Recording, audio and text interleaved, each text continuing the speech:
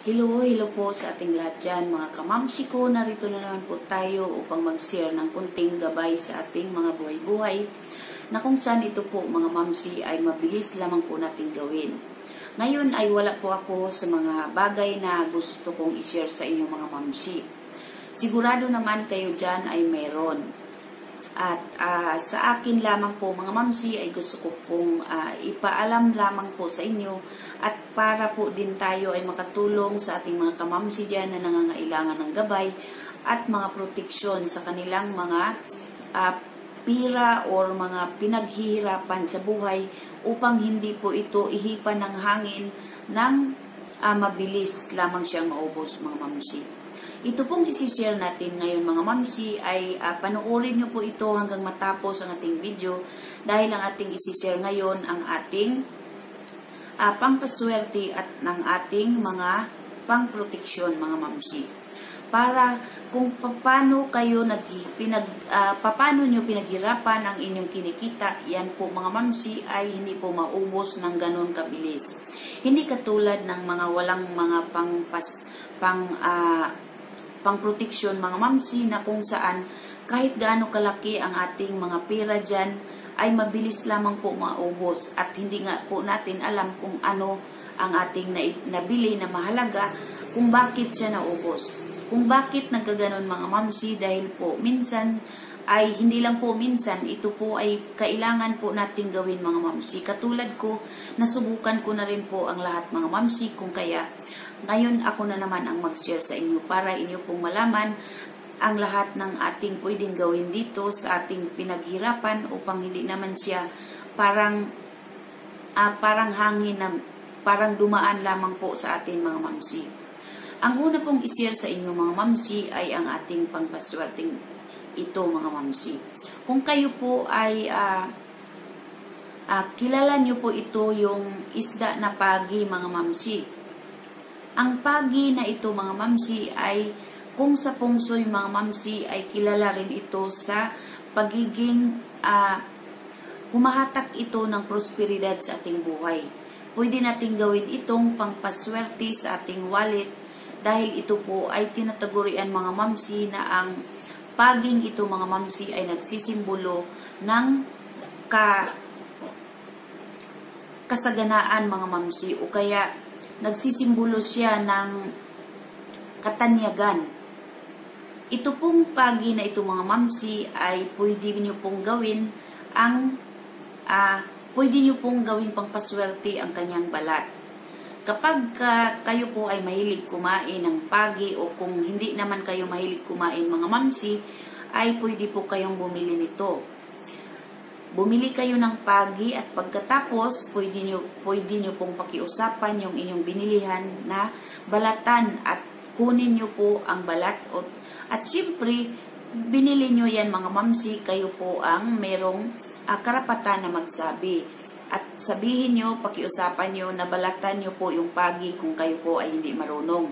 Dahil ang balat ng pagi na yan mga mamsi ay pinapaniwalaan na yan po kung kayo po ay gumagamit ng mga bag na gawa sa balat ng pagi o kaya wallet sa balat ng pagi mga mamsi yan po ay pinapaniwalaan na nag mag uh, tutulong ito na mag-increase ng inyong mga uh, kita mga mamsi. Kung kayo po ay may mga business o kaya naman ay mayroong mga trabaho, ito po ay naghahatak ng mga magandang oportunidad sa ating buhay.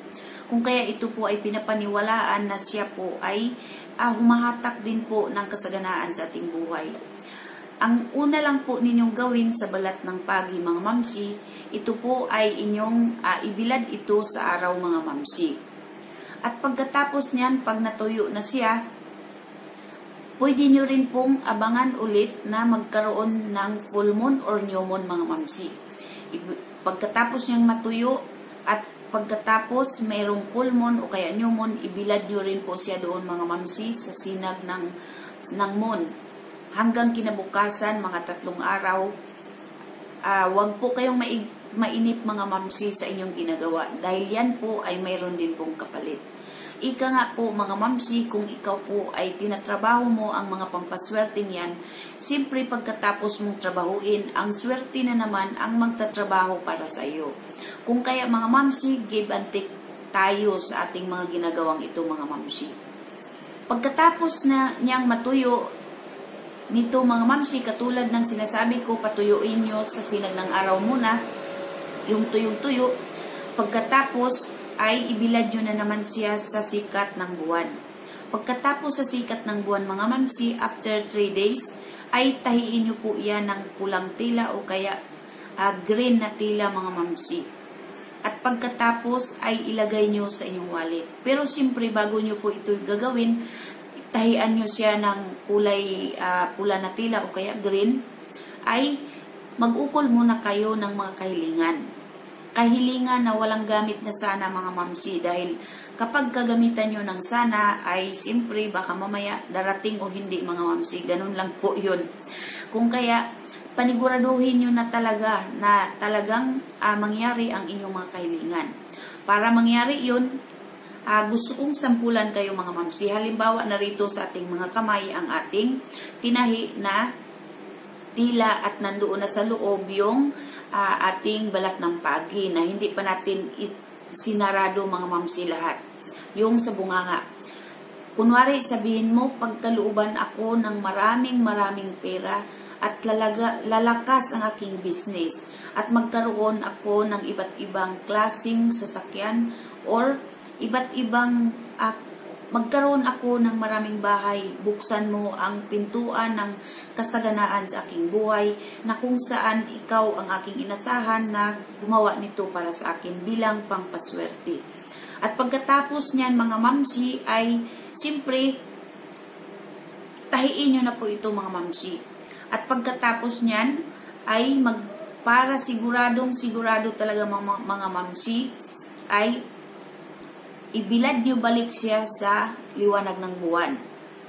Pagkatapos ay ilagay nyo po ito sa inyong wallet.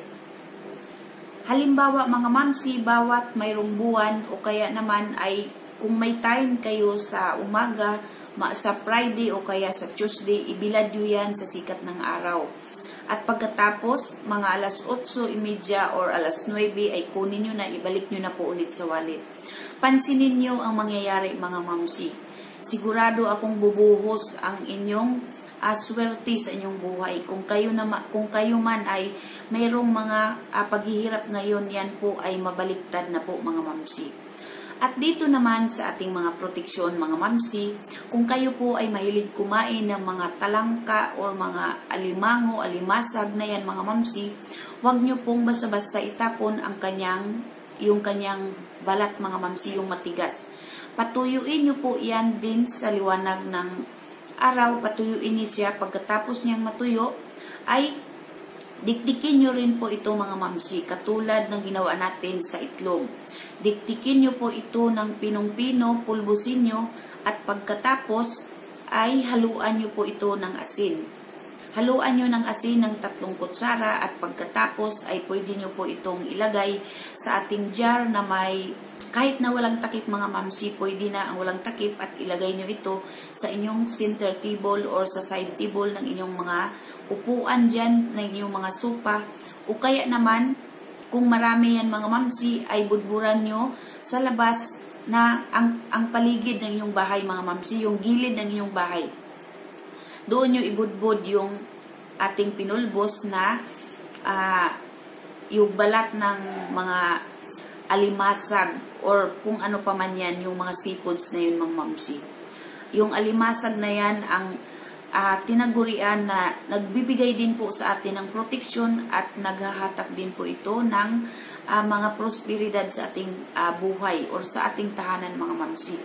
Pinoprotektahan niya ang ating mga sarili dyan kapag ka gumawa tayo niya na may paniniwala.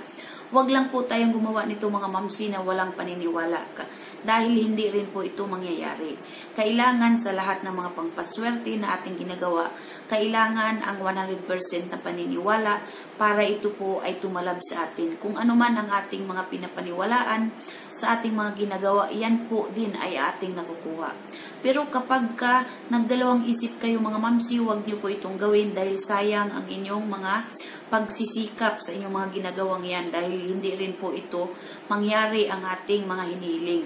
Kailangan i-ready nyo muna ang inyong sarili bago ninyo gagawin ang ating mga pampaswerte or ang ating mga proteksyon mga mamsi. Pagkatapos nung ating uh, dinikdik na yan mga mamsi na balat ng uh, alimango, alimasag or kung ano man ang mga uh, yan mga mamsi, tulad ng sinasabi ko, dikdikin nyo ito. Pagkatapos niyang madurog, haluan niyo po ito ng asin na tatlong kutsara. At pagkatapos ay ibudbud nyo doon sa labas niyong bahay, sa paligid ng inyong bahay mga mamsi. Dahil yan po ay magproprotekta sa inyo sa mga kung anuman kapahamakan or mga hindi magandang pangyayari mga mamsi. Yan po ang uh, dala ng ating balat ng uh, talangka na yan mga mamsi. At pagkatapos niyan mga mamsi ay uh, pwede po kayong maglagay din sa ating maliit na jar at ilagay nga natin doon sa ating center table or sa side table.